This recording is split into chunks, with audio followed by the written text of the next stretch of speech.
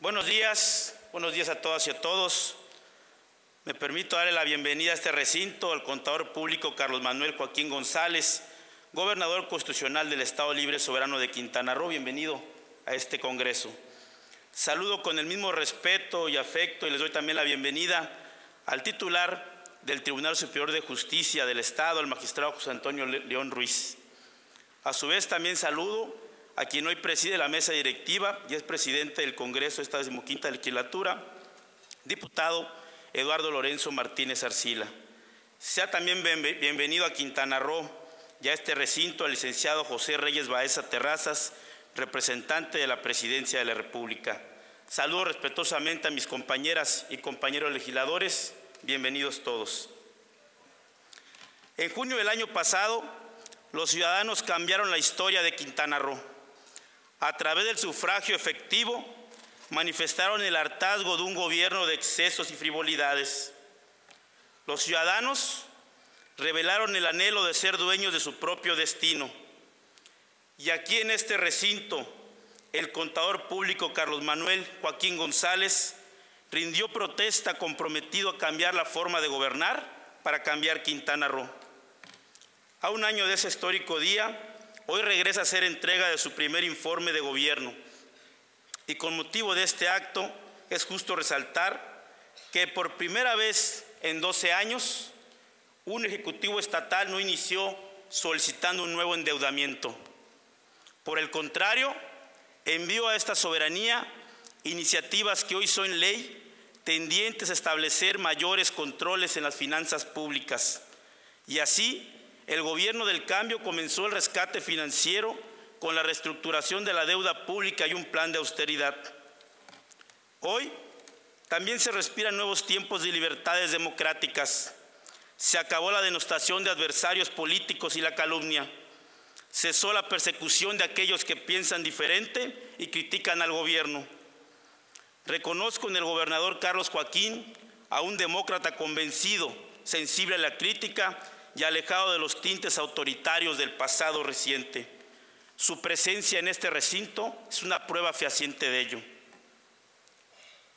También hay que decirlo, se acabó la subordinación entre los poderes e iniciamos una nueva relación de respeto, donde nunca más un poder legislativo al servicio de intereses ajenos, nunca más un Congreso traicionando a los quintanarruenses. Por el contrario, vivimos tiempos de transparencia y rendición de cuentas con cercanía y participación ciudadana. Y eso es lo que ha caracterizado el trabajo del Ejecutivo Estatal y la relación entre poderes. También tengo que decirlo con claridad, sin la alternancia política que impulsaron los ciudadanos, hoy sería imposible concebir este primer año de reconstrucción, de estabilidad financiera y de combate a la impunidad. Carlos Joaquín cumpliste con tu palabra empeñada en campaña al presentar las denuncias que hoy tienen preso al exgobernador Roberto Borge y a otros funcionarios rindiendo cuentas por sus actos ante la justicia.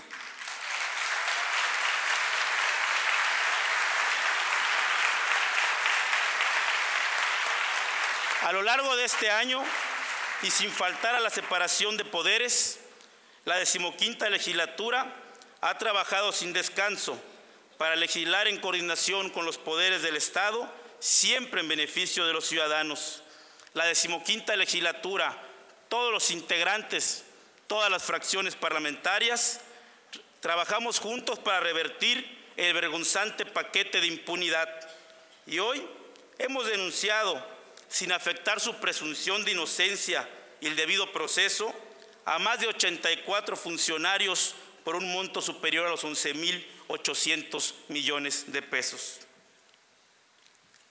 Pero de cara al segundo, al inicio del segundo año de gobierno, la fracción parlamentaria del Partido de la Revolución Democrática, integrada por los diputados Laura Beristain Navarrete, José Esquivel Vargas y el que hace uso de la voz, nos comprometemos a seguir legislando para desmantelar los vestigios del pasado autoritario y a seguir legislando para hacer leyes que le sirvan a la gente.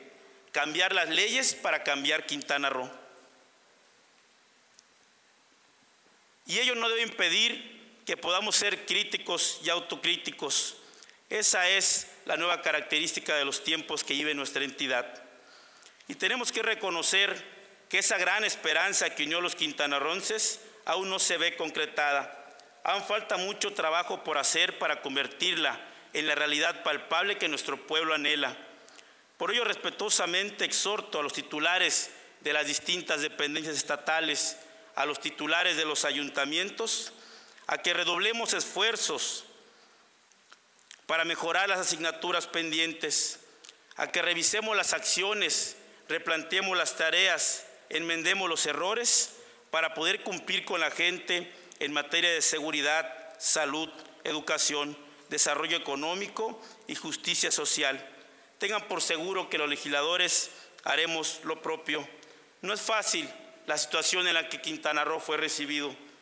Cual si hubiera pasado un huracán devastador, en esas condiciones se dio el cambio de poderes. No hay que olvidarlos, ciudadanas y ciudadanos. Por ello, los ciudadanos que gestaron la jornada histórica del 5 de junio, los convoco a no retroceder en las libertades alcanzadas, a no desesperar. Esto apenas comienza. Sabemos que ustedes nos pusieron y a ustedes nos debemos. Y en los próximos días, esta legislatura hará la revisión de la glosa del informe y llamaremos también, como lo hemos hecho desde el primer día en la forma de actuar esta legislatura, a los titulares de las dependencias para que vengan al Congreso a ampliar, a comparecer de cara a los ciudadanos de la información contenida en la glosa de este primer informe. No retrocederemos en la pauta que marcamos desde el primer día de esta legislatura. Tenemos claro que solo organizados y trabajando en conjunto, sociedad y gobierno, consolidaremos una nueva etapa de rendición de cuentas bajo el escrutinio público. Hoy todos los servidores somos conscientes, seamos conscientes que actuamos bajo la vigilancia del nuevo sistema anticorrupción, que estamos sujetos a la nueva ley de rendición de cuentas y que hoy, afortunadamente para la historia de nuestro Estado, ya no tenemos ese coto de impunidad que representaba el fuero constitucional. Ciudadanos, los invito a que sigamos trabajando, a que recuerden que cuando la gente se organiza, el cambio se agiliza. Viva Quintana Roo, Vivan las libertades y por Quintana Roo sigamos sumando esfuerzos. Muchas gracias.